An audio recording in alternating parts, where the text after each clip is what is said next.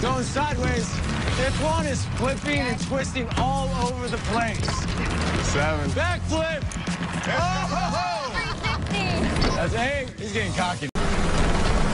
Oh, he got two there. He hit both targets. Wow. That gives him a total of three targets with two sets left to go. Talk about a great position to get all five targets on this first pass.